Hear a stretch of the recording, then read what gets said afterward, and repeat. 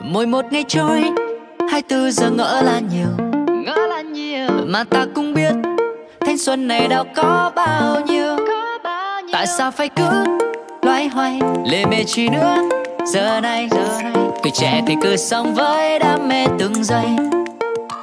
Crush SOS cần xem phim hay. Ok quẹt thẻ đặt mời nàng xem ngay.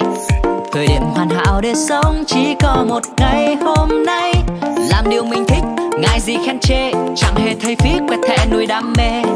Để niềm khao khát dẫn lối đến những điều thật lớn lao.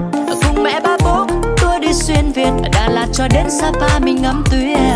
Để ba mẹ thấy tự hào rằng con sống không phí, và tôi sẽ sống không phí. Một giây.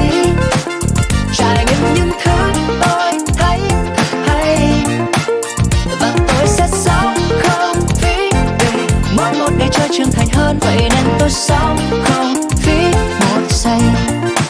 Và tôi sẽ sống không phí, let's live free.